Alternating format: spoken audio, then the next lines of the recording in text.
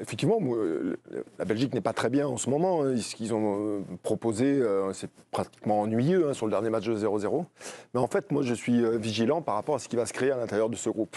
Suite à leurs problèmes avec leurs supporters, suite à leurs problèmes avec la presse, on a bien vu qu'à la fin du match, il y a une forme de mobilisation qu'il y a eu entre les joueurs, le staff, le sélectionneur. Ils ont fait corps. ils ont fait corps. Et il peut se créer quelque chose dans les trois jours qui arrivent, dans les quatre jours qui arrivent, en plus contre l'équipe de France, où les deux nations, euh, c'est là où ils se sont rencontrés le plus souvent dans l'histoire du, euh, du, foot. Et ça reste une rivalité quand même relativement assez forte, l'opposition de la Belgique. Et comme il y a des joueurs de grande classe dans cette équipe-là, donc nous, on parle de l'équipe de France qui sont capables de se mobiliser parce qu'on a de grands joueurs, mais eux, ils ont de grands joueurs aussi. On parle de notre domaine offensif qu'on est efficace, inefficace aujourd'hui. Vous regardez le domaine offensif de la, de la Belgique, il y a des vrais joueurs là-dedans. Il ne faudrait, il faudrait pas qu'ils retrouvent aussi leur efficacité. Lukaku n'a pas réussi à marquer, et s'il arrive à marquer contre l'équipe de France. Donc j'ai une forme de réserve, je suis euh, rassurant, optimiste, mais attention à la mobilisation des, Belges. Sébastien, vous qui suivez cette équipe de France euh, au, plus près, au quotidien, vous êtes plutôt optimiste face à la Belgique? Je suis optimiste mais prudent. Je suis prudent parce que je pense qu'il faut arriver à récupérer Antoine Griezmann.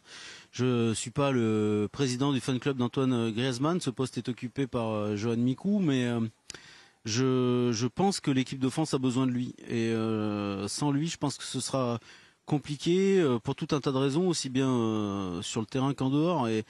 Un joueur comme celui-ci, euh, il peut pas être déclassé à son âge euh, dans une compétition comme ça. En tout cas, c'est mon point de vue. Je pense que ce sera compliqué. Et puis le deuxième point, euh, c'est Doku. Euh, je sais pas dans quel état il sera face au bleu, parce qu'il n'a pas fait que des grands matchs. Mais je pense que l'arrière droit de l'équipe de France aura besoin d'un bon coup de main face à Doku s'il est dans un bon jour quand même. on parle de, de Jules Koundé. Raymond, vous étiez très mitigé sur la question. Oui, je suis un peu comme, comme Régis. J'ai à faire attention, pas sous-estimer la qualité de ces, joueurs-là. C'est leur défense qui, qui me rassure quelque part. Parce que bon, c'est une équipe qui a, une tête, qui a une face, mais euh, je ne suis pas sûr qu'elle ait une solidité euh, à toute épreuve euh, contre, contre l'équipe de France. Mais c'est vrai que leur potentiel offensif, quand on regarde ces joueurs, on se dit, bah, ils jouent tous dans des grands clubs, c'est tous des joueurs performants il ne faut, pas, faut pas les négliger. Si l'équipe de France joue à son niveau euh, offensivement, je veux dire, il n'y a, a, pas photo. Parce que défensivement, ils sont loin de, loin de ce que nous... Raymond, souvent, on, bon, on, parle du côté offensif. Pour gagner, il faut mm. marquer des buts. Mais on revient aussi à la défense. C'est du placo, les Belges. Ah ils peuvent se faire éventrer en un contre un. Mais mm. vous avez vu les latéraux. Courtois n'est plus dans les buts. J'ai vu Castagne. J'ai vu l'autre théâtré, là. Théâtre, Arthur Théâtre, mais joueur de Rennes. C'est très faible. Oh. Non mais après ils n'ont pas pris de but, Eric. Ils ont pas pris, ils ont pris un but. Hein. Non mais ils ont pris. Mais tu as vu sur le potentiel des joueurs, je suis d'accord avec toi. Mais ont, euh, non mais leur attaque, tu me dis, elle peut se réveiller comme euh, Mbappé. Nous, au moins Mbappé, on sait qu'il a pas joué le, le, deuxième match, le nez cassé. Lukaku va se réveiller, mais ils font quoi offensivement? Ils vont chercher une victoire contre les Roumains. Et, euh, ils, ne jouent pas le match nul, mais pratiquement, enfin, ils arrêtent une occasion, un tir de Lukaku. L'Ukraine, le dernier match. C'est l'Ukraine. oui, pardon, l'Ukraine. Excuse-moi, excusez et voilà, c'était nul. Mais, non, euh, nous, c'est pas excitant, c'est pas glamour. Mais derrière, mais c'est attention, attention. À Non, mais moi, après, je suis pas là. Les Léon, comme Harley Davidson, euh, je roule des mécaniques. Hein. Chemise ouverte à fleurs. chemise ouverte en ce moment, c'est pas mal. Non, mais je dis que les Belges, euh, je les prends, mais l'équipe de France peut pas euh, sous-estimer cette équipe-là. Mais elle est forte aussi. Toi, tu me dis, je t'entends, ils vont se regrouper dans le rond central, une pression pour sortir quelque chose de meilleur. Ça, je le suppose. Mais la France, elle a le faux au cul.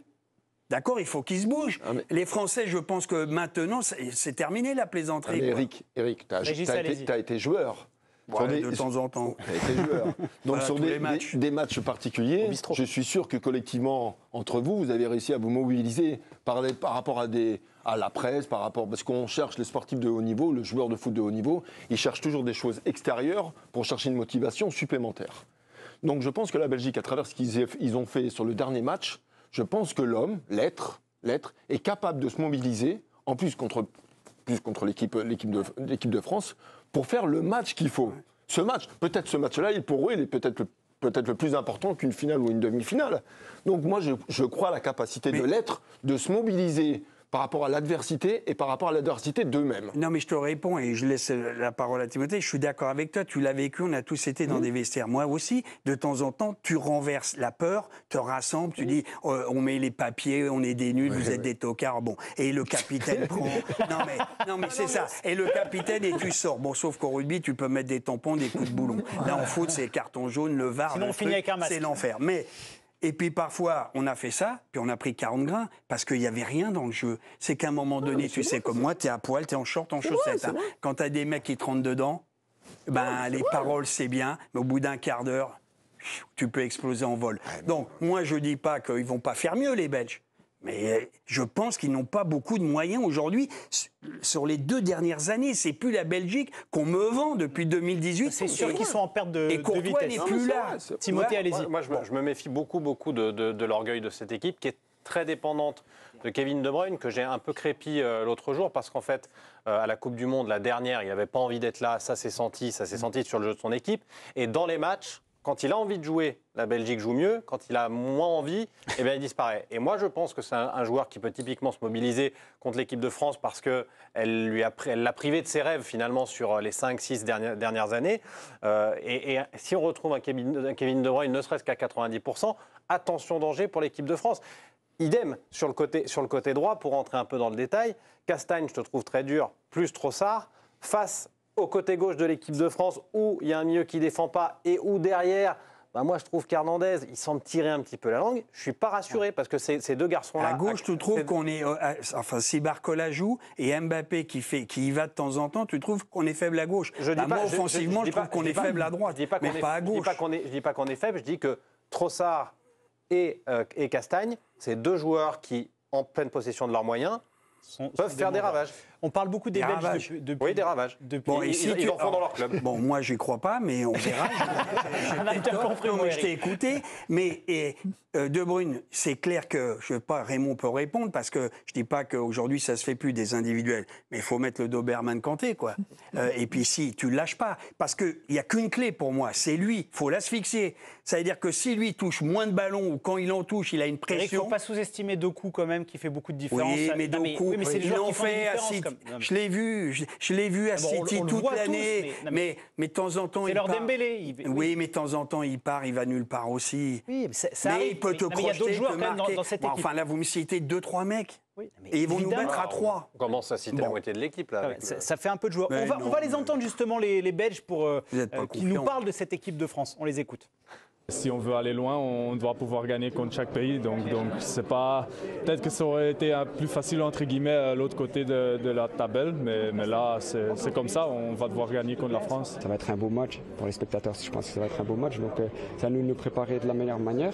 Ça va être une belle bataille, il faut bien se préparer. Euh, maintenant, on, on connaît le- ce genre de match-là au haut niveau, on sait y faire, donc, euh, donc voilà, ça va être une belle bataille. Il va falloir être à 110% pour, euh, pour gagner ce match. Tout le monde devra faire un, un match complet, mais on peut le faire. On croit en, en nos qualités, mais ce sera pas facile.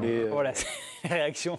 Il y avait les défenseurs belges. J'ai l'impression qu'Eric, il aime beaucoup la défense de la Belgique. Ah ouais, ouais. Euh, euh, Pierre voulait parler de la défense, vous, Bah, mais de l'équipe de France. Bah ouais, parce que c'est vrai qu'on on parle vachement de l'attaque, parce qu'on a des petits soucis quand même en attaque. On parle pas mal du milieu qui a énormément bougé euh, sur ces trois premiers matchs, mais on parle pas beaucoup de la défense. C'est le seul secteur de jeu, euh, à, à part le gardien, où il n'y a eu aucun changement sur les trois matchs. On n'a pris aucun but dans le jeu. Le seul qu'on prend, euh, Mike Maignan, c'est un penalty, il l'arrête quand même de base, et il est retiré. Donc on a Quelle quand même honte une- cette règle d'ailleurs. Ouais, on C'est est vraiment une d'accord. Voilà. Mais, mais on, on a quand même une défense qui est hyper solide et qui n'est pas du tout friable, même mentalement. Quoi. Donc on a, on a aussi ce- cet énorme atout euh, qui peut effectivement. Euh, faire des petits tours à la Tourner. Belgique. Bah non, mais c'est vrai. Non, mais Raymond, est Pour aller loin, il faut avoir une grosse défense. Il n'y a aucune défense. garantie chez les Belges. Aucune. Bah là, je suis d'accord. Ah, t'es d'accord Je suis quand même d'accord. C'est leur, leur point, leur point faible, il est derrière quand même. On va juste, on va juste revenir sur, euh, sur cette équipe de France un petit peu. On a beaucoup parlé de, de la Belgique. Raymond, euh, moi, je sais qu'on fait beaucoup de parallèles sur 2006 euh, actuellement par rapport à ce qui, à ce qui se passe. Euh, mais c'est vrai qu'aussi. Ah bon? Bah, un peu quand même. Un peu quand même. Non? Quel parallèle? Bah, Sur le côté, ils n'étaient pas très bons en poule et, et au Ah, final, ça s'est bien passé. Bon, à part pour l'Italie, ça, je suis navré, euh, Raymond. Mais honnêtement, sur ce que vous voyez de cette équipe de France, sur euh, le- les cadres qui sont plus ou moins en méforme pour certains, est-ce que vous voyez euh, des signaux très positifs sur un sentiment de, rébellion? Parce que Bertrand Latour, l'autre jour, disait Je sens pas un, côté euh, état d'urgence dans cette équipe de France. Est-ce que vous les trouvez un peu trop tranquilles? Euh, C'est pas l'impression qu'on donne qu'ils soient tranquilles. Euh, Justement, c'est l'impression qu'il y a beaucoup de questions, il y a beaucoup d'interrogations, il y a beaucoup d'interrogations des gens autour et ça influence plus ou moins. Il y a le cas Griezmann qui, est- est- instants, ouais. pose, qui a posé un problème. Il y a, la, il y a Dembélé qui ne met pas un pied devant l'autre et qui est toujours là. Ah, Il a obtenu penalty quand même. Oui, c'est ça. Euh, on comprend toujours pas ce qu'a voulu faire le Polonais sur ce coup-là. Euh, mais il y, a- il y a beaucoup d'interrogations dans ce milieu, dans cette équipe offensive. On en est à se dire que maintenant, euh, Barcola est indispensable à cette équipe. C'est aussi le débat d'après. Exactement. Voilà, vous donc, lisez bien la rivière, cher on pose euh, voilà, plein de questions. euh, ça enlève des certitudes. Hmm. Et quand une équipe a, la pas ces certitudes, ben, le, le groupe il est dilué. Et tout le monde s'imagine, c'est le pire. C'est tout le monde s'imagine qu'il peut jouer, qu'il doit jouer, euh, qu'il comprend pas pourquoi on le fait pas jouer lui, alors qu'il est meilleur que, que tous les autres. Et, et là, c'est un peu ce qu'on sent. Et le travail de Didier sur ces trois jours, c'est de trouver son, son groupe, son équipe, et puis pas, et s'accrocher maintenant à ça. On va prendre la direction de l'Allemagne pour retrouver Sébastien Tarago. J'ai cité euh, Bertrand Latour avec qui vous, euh, vous travaillez en Allemagne pour suivre cette équipe de France. Et l'autre jour, il disait Je ne sens pas les Bleus en état d'urgence. J'aimerais bien qu'il y ait de la révolte. J'aimerais bien qu'ils soient mécontents. Euh, Est-ce que vous aussi, vous avez ce sentiment-là ou pas du tout?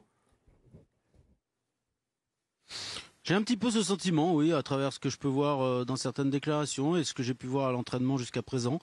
Euh, j'espère qu'on se trompe, j'espère que ça va venir. euh, j'espère simplement en fait que cette équipe ne se dit pas on a des occasions, on a beaucoup d'occasions, on se crée énormément d'opportunités et ça va finir par rentrer. J'espère qu'ils ne se disent pas cela et euh, je pense que certains joueurs se, se le disent un petit peu jusqu'à présent parce que euh, je pense que ce serait extrêmement dangereux et je pense que le sentiment d'urgence, le sentiment de révolte, le sentiment de vouloir aller bouffer tout le monde, il est très important dans le sport de, de haut niveau et euh, c'est ça qui fait basculer euh, les belles aventures dans les grandes aventures. C'est tout. C'est c'est- faut avoir envie plus que les autres et euh, ça, je pense qu'on va on va avoir des réponses euh, dès lundi. Pia? Ouais, pour, pour faire un peu une analogie, je trouve que cette équipe de France, elle dégage un peu l'impression d'être une équipe d'aristocrates, c'est-à-dire euh, ils sont forts, ils sont beaux, ils sont élégants, ils sont au-dessus des autres. Euh, mais il n'y a, pas- a aucune proportion dans, le 11 et même dans, le, dans, dans- les 22 de dalleux. Ils- n'ont pas la dalle en fait. Et quand tu vois jouer par exemple la Géorgie, il y a des joueurs qui sont excellents techniquement, mais il y a aussi des dalleux dans le groupe. Et là, c'est vrai que quand tu regardes le 11, tu te dis, euh, ceux qui vont rien lâcher, qui vont avoir du mordant, qui vont, qui vont pouvoir retourner un match, on se demande un peu où ils sont. Et euh, à part peut-être éventuellement Kanté, qui a ce truc-là euh, naturellement, euh, on, a, on a un peu une équipe de galactiques. Et, et c'est là que ça va pas être facile, je pense, de trouver euh, quelque chose pour les activer. Quoi. Et pourtant l'attaque du PSG euh, contre la Pologne. Bah, ils, ont, ils ont eu des petits problèmes au niveau Ils ont eu parfois quelques problèmes. Bon, on va pas parler de Luis. Enrique ce soir.